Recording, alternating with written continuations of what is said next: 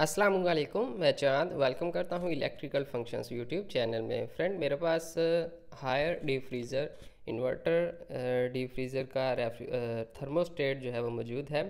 यहाँ पर इसका कनेक्शंस आपको मैं बताऊँगा। इसके पाँच पॉइंट्स हैं, जो कि दो तो जो वाइट कलर के हैं, वो तो नॉर्मली इसके अर्थिंग पॉइंट हैं, और बाकी तीन पॉइंट है वो किस चीज़ के लिए हैं, और इसके कनेक्शंस आपने कैसे करने हैं। बहुत ही आसान है और बहुत ही आसान कंपनी ने भी कर दिया है थर्मोस्टेट ने। इसके ऊपर ही एच लिखा हुआ है, एक पॉइंट पर, दूसरे पॉइंट पर एल लिखा हुआ है और तीसरे पॉइंट पर सी लिखा हुआ है। ठीक है? यहाँ से आप देखेंगे, आपको मिलेगा सी और एल और दूसरी तरफ़ जो है आपको एच यहाँ पर सी और एल जो है, ये हमारे मेन कनेक्शन है। एच पर हीटर वाली वायर लग जाएगी। एच पर डायरेक्ट एक हीटर का पॉइंट अटैच हो जाएगा।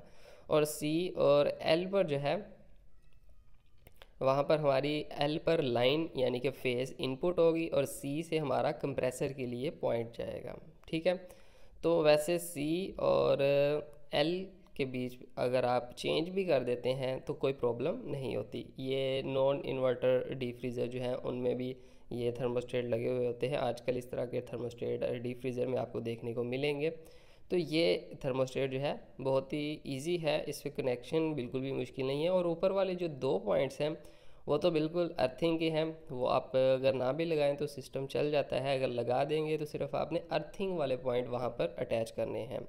बाकी एच वाली साइड पर आप हीटर पॉइंट लगा दें और लाइन और सी सी और एल पर आपने मेन वायर पहुंचानी है और वहाँ से मेन आउटपुट लेनी है। वो चाहे आप सी पर मेन पहुँचा दें, चाहे एल पर।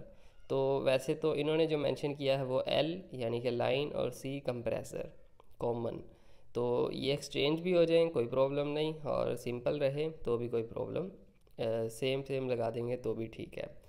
तो ये छोटी सी वीडियो थी। उम्मीद करता हूँ आपको वीडियो पसंद आई होगी और इसमें ये छोटी सी इन्फॉर्मेशन आपको समझ में आ गई होगी और कुछ थर्मोस्टेट में तो सिर्फ़ दो ही पॉइंट होते हैं तो उसमें तो बिल्कुल ही टेंशन लेने की ज़रूरत नहीं। आप जौन सा मर्ज़ी पॉइंट आगे पीछे भी कर सकते हैं।